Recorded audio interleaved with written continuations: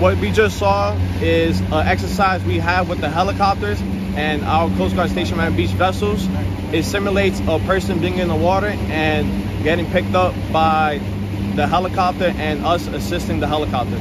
We see the most boat accidents during the summer because that's when everybody goes out and that's when the weather is really good. We push on people to have life jackets that you can see the life jacket brings the person above the water and it makes it easier for the vessels and our helicopters to spot them and to assist them.